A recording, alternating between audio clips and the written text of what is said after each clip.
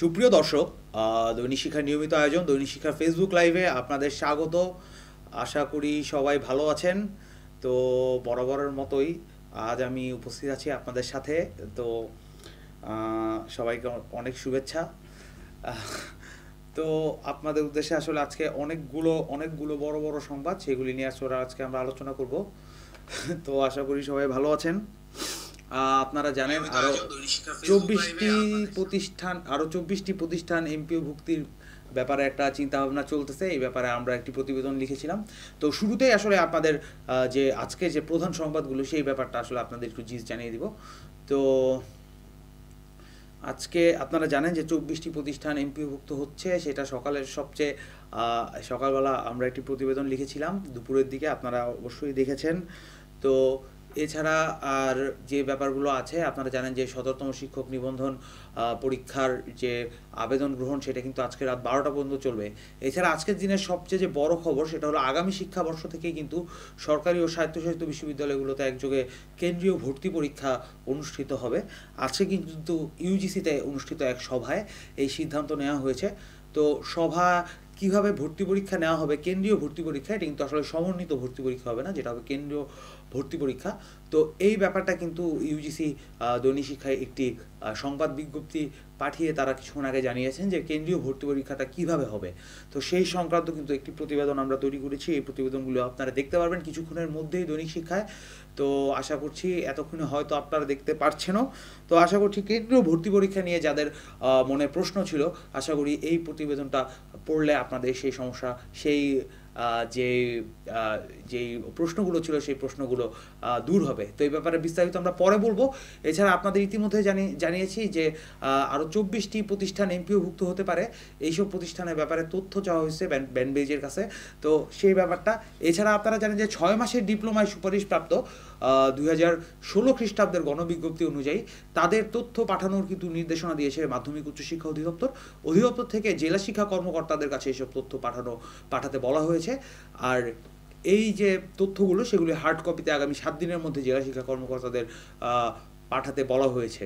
তো এছাড়া আরও একটা ব্যাপার, কারিগরি শিক্ষকদের একটা বিষয় আপনারা ইতিমধ্যে জেনেছেন যে পলিটেকনিক শিক্ষকরা কিন্তু একটি আন্দোলনে আছেন, তারা কিন্তু তাদের দ্বিতীয় শিফটের যে বেতন সংক্রান্ত কিছু জটিলতা সৃষ্টি হয়েছিল, সেই জটিলতাগুলো কিন্তু নিয়ে কিন্তু তারা সেই জটিলতা নিয়ে কিন্তু তারা আন্দোলন করছেন। গত এক ফেব্রুয়ারি থেকে তারা কর্মবিরতি পালন করছেন।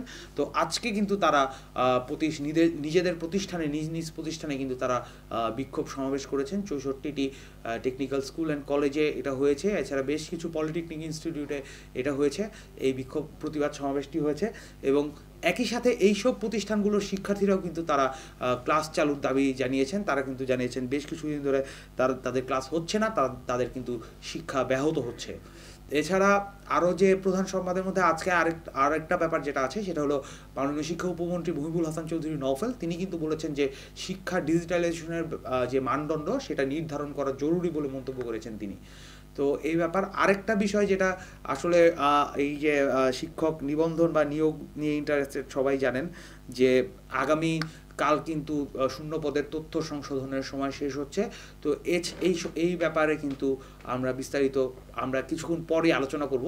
আশা করছি আরেকটা ব্যাপার, যে লাস্ট যে আরেকটা প্রধান খবর সেটা হলো নন ক্যাডারের যে অপেক্ষ ওয়েটিং লিস্ট ছিল নন বিসিএস পরীক্ষায়, সেইখান থেকে কিন্তু নন ক্যাডারে সাতশো একত্রিশ জনকে নিয়োগ দেওয়ার সিদ্ধান্ত হয়েছে, নিয়েছে আজকে পিএসসি তো দর্শক, আশা করি ভালো আছেন সবাই।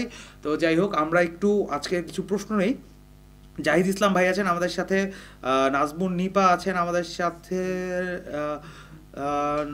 নুরুজ্জামান জামাল আছেন আহ, রিয়াজউদ্দিন আছেন জয়নুল আবেদিন আছেন মোহাম্মদ নুরুজ্জামান আছেন আমাদের সাথে সুমন হোসেন আছেন সুমন রয় আছেন বিপটু সরকার আছেন রনি আহমেদ আছেন এনামুল হক আছেন স্কন্দন বীর্জা আছেন আমাদের সাথে এম কে রুদ্র অনেকেই আছেন আমাদের কাছ আমাদের সাথে।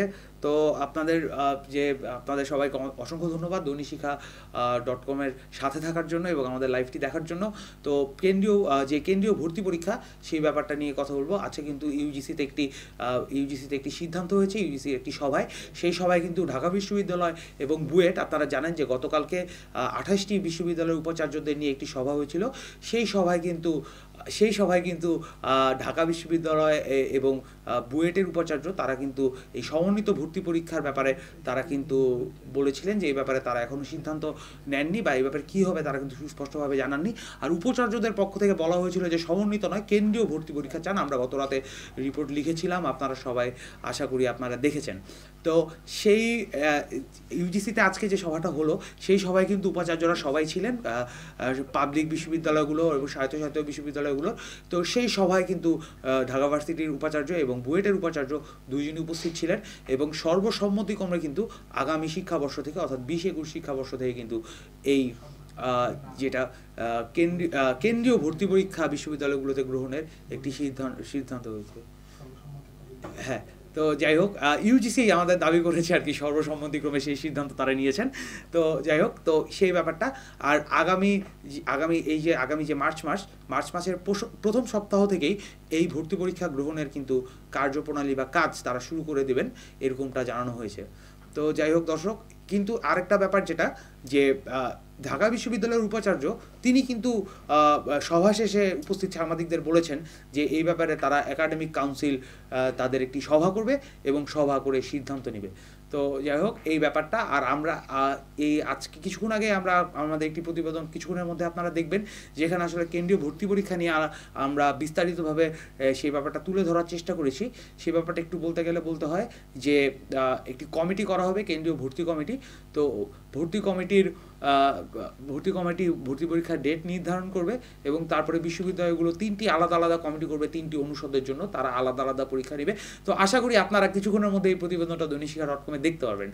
তো যাই হোক, আমরা পরবর্তী যে আজকের যে ব্যা- ব্যাপারটা সেটাই যাই। আপনারা জানেন যে আরও চব্বিশটি প্রতিষ্ঠান কিন্তু এমপিভুক্ত হতে পারে এরকম একটা এরকম একটা সম্ভাবনা মানে দেখা গেছে। আ- আজকে কিন্তু মন্ত্রণালয়ের সূত্র আমাদের জানিয়েছে যে আরও এরকম চব্বিশটি প্রতিষ্ঠান এমপিভুক্তির বিষয়ে কিছু আবেদন মাধ্যমিক উচ্চশিক্ষা বিভাগে এসেছে এবং সেই আবেদনগুলো কিন্তু সেই আবেদনগুলির প্রেক্ষিতে ব্যান বেইজের কাছে এই প্রতিষ্ঠানগুলো এমপিওভুক্তির বিষয়ে সুস্পষ্ট মতামত চেয়েছে মাধ্যমিক উচ্চশিক্ষা বিভাগ। তো এর আগে গত পরশু দিন কিন্তু আমরা একটি প্রতিবেদন লিখেছিলাম যেখানে দুইটি প্রতিষ্ঠানের এরকম মতামত প্রতিবেদন চাওয়া হয়েছিল। তো যাই হোক দর্শক, আরও আসলে অনেকে আমাদের সাথে যুক্ত হয়েছেন। আমরা আসলে একটু দেখব হাবিব মিয়া ভাই আছেন বাইজিৎ বোস্তামি আছেন আমাদের সাথে সুরঞ্জিত মণ্ডল আছেন, মেহেদি হাসান আছেন মতিউল ভাই আছেন আমাদের ময়মনসিংহের আমাদের রিপোর্টার তো যাই হোক, আরেকটা ব্যাপার যে অনেকেই প্রশ্ন করেন যে ছয় মাসের ডিপ্লোমায় আইসিটি শিক্ষক যারা প্রথম গণবিজ্ঞপ্তি, এনটিআরসি এ প্রকাশিত প্রথম গণবিজ্ঞপ্তির প্রেক্ষিতে সুপারিশপ্রাপ্ত হয়েছিলেন। তো তাদের ব্যাপারে একটি আপডেটেড তথ্য আছে। আপনারা জানেন যে গত ডিসেম্বরের ত্রিশ তারিখ, আমি যদি ভুল না করি, ত্রিশ তারিখ কিন্তু মন্ত্রণালয়ের শিক্ষা মন্ত্রণালয়ের মাধ্যমিক উচ্চশিক্ষা বিভাগ থেকে এইসব শিক্ষকদের তথ্য যারা দুই হাজার ষোলো খ্রিস্টাব্দে আইসিটি সহকারী শিক্ষক পদে যোগদান করেছিলেন এবং সেই পদগুলোতে এখন কর্মরত আছেন কিন্তু এমপিভুক্ত হতে পারছেন না, তাদের তথ্য চাওয়া হয়েছিল। এরকম অনেকেই আছেন অবশ্য যারা কিন্তু আদালতের রায়ের মাধ্যমে তারা কিন্তু নিয়োগ পেয়েছিলেন। তাদের নিয়োগটা হয়েছিল দু হাজার উনিশের প্রথম দিকে। আর এটা কিন্তু আপনারা জানেন যে এই শিক্ষকদের বিজ্ঞপ্তি কিন্তু প্রকাশ হয়েছিল দু হাজার ষোলো খ্রিস্টাব্দে। তো তাদের ব্যাপারে কিন্তু মন্ত্রণালয় যে তথ্য চেয়েছিল অধিদপ্তরের কাছে এবং এনটিআরসি এর কাছে আজকে কিন্তু মাধ্যমিক উচ্চশিক্ষা অধিদপ্তর থেকে। এই, যে তথ্য, শিক্ষকদের তথ্য চাওয়া হয়েছে জেলা শিক্ষা কর্মকর্তাদের কাছে এবং আগামী সাত দিনের মধ্যে এই তথ্য মাধ্যমিক উচ্চশিক্ষা অধিদপ্তরে পাঠানোর নির্দেশ দেওয়া হয়েছে জেলা শিক্ষা কর্মকর্তাদের। তো তাদের কিন্তু হার্ড কপি এবং সফট কপি উভয় কপি কিন্তু পাঠাতে বলা হয়েছে শিক্ষা অধিদপ্তরে। তো দর্শক, এদের ব্যাপারটা একটু করে বলব।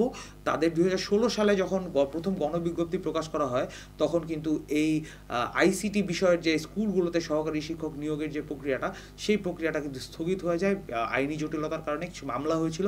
সেই মামলা কিন্তু নিষ্পত্তি হওয়ার পরে এই দু হাজার আঠারো খ্রিস্টাব্দের শেষ দিকে বা দু হাজার উনিশ খ্রিস্টাব্দের শুরুতে কিন্তু এনটিআরসিআই প্রায় এক হাজার সাতানব্বই জন প্রার্থীকে সুপারিশ নিয়োগ সুপারিশ করে এবং তাদের মধ্যে থেকে এক হাজার সাতচল্লিশ জন প্রার্থীকে সুপারিশপত্র দেওয়া হয়। তো আমরা কয়েকটি সূত্রে যে তথ্য পেয়েছি, সেই তথ্যে কিন্তু তিন শতাধিক শিক্ষক এনটিআরসি থেকে আমাদের জানানো হয়েছিল তিনশো চৌচল্লিশ জন শিক্ষক আসলে যোগদান করেছিলেন। কিন্তু তারা আসলে এই তাদের বিজ্ঞপ্তিটা জারি হয়েছিল ষোলো সালে, কিন্তু তারা আইনি জটিলতায় তাদের নিয়োগ তাদের নিয়োগ সুপারিশ করাটা বিলম্বিত হয়ে এবং তারপরে কিন্তু যখন এই যতদিনে এই যে আইনি জটিলতাটা কেটে যায়, সেই সময়ের মধ্যেই কিন্তু এমপিও নীতিমালা পরিবর্তিত হয়, যেখানে কিন্তু ছয় মাসের ডিপ্লোমা ইন্ডেক্স, ছয় মাসের ডিপ্লোমাধারী কাউকে আইসিটি শিক্ষক পদে নিয়োগ দেওয়া যাবে না বলে উল্লেখ ছিল এবং যোগ্যতাটা পাল্টে যাওয়া হয়েছিল, সেটা আসলে অনার্স মাস্টার্স করা হয়েছিল। তো সেই প্রেক্ষিতে কিন্তু এখন এরা যখন যোগদান করলেন ষোলো সালের বিজ্ঞপ্তিতে, তাদের কিন্তু একটি জটিলতা সৃষ্টি হয়।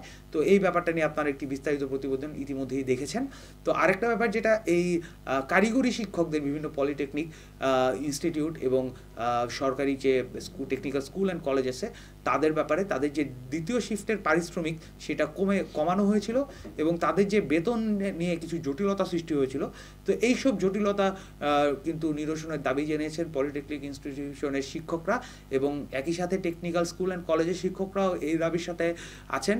তিনটি কারিগরি শিক্ষকদের, শিক্ষক কর্মচারীদের, কারিগরি শিক্ষক কর্মচারীদের তিনটি সংগঠনের ব্যানারে কিন্তু গত এক ফেব্রুয়ারি থেকে তারা একটি তারা কর্মবিরতি পালন করছেন। এই বেতন জটিলতা বা দ্বিতীয় শিফটের যে পারিশ্রমিক, সেই সংক্রান্ত জটিলতা নিরসনের দাবিতে। তো আজ কিন্তু তারা এই- কর্মবিরতি তাদের চলছে, কিন্তু এর মধ্যেই কিন্তু তারা এই, কি বলে সেটাকে? তারা কিন্তু একটি প্রতিবাদ সমাবেশ করেছেন আজকে। তো আবার পাল্টাপাল্টি কিন্তু শিক্ষার্থীরাও দাবি জানিয়েছেন। শিক্ষার্থীরাও কিন্তু আজকে প্রতিষ্ঠানগুলোতে বিক্ষোভ করেছে। আজকে আমরা রাজশাহী থেকে খবর পেয়েছি। তো আপনারা জানেন, আমাদের রাজশাহী রিপোর্টার আশিক ভাই, তিনি কিন্তু আজকে আমাদের কিছু প্রতিবেদন পাঠিয়েছেন এই বিষয়ে। তো আপনারা ইতিমধ্যে রিপোর্টটা দেখেছেন, যেখানে কিন্তু বলা হয়েছে, এই যে শিক্ষার্থীরা, তারা কিন্তু দৈনিক শিক্ষা ডট কমকে জানিয়েছেন যে তারা চান ক্লাসে ফিরে যেতে। তারা দাবি করেছেন যে এই জটিলতায় কিন্তু তারা সবচেয়ে বেশি ভুক্তভোগী হচ্ছেন। তো দর্শক, এই ছিল আজকে আমাদের ফেসবুক লাইভ আশা করি সবাই ভালো থাকবেন।